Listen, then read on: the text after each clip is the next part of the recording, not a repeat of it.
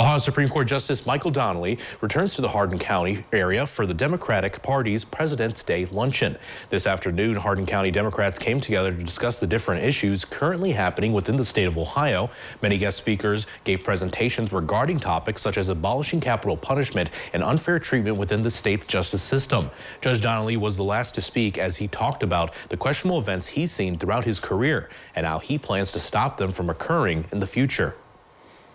I've been traveling around the state advocating for a centralized uh, database um, for sentencing so that um, judges can carry out their statutory duties to treat people uh, similarly situated defendants with similar sentences. Uh, we don't have a lot of data. We have 88 counties and uh, I'd like to see the judges in the state have that information so that they can make fair decisions. Donnelly has been a justice on the Ohio Supreme Court since 2019.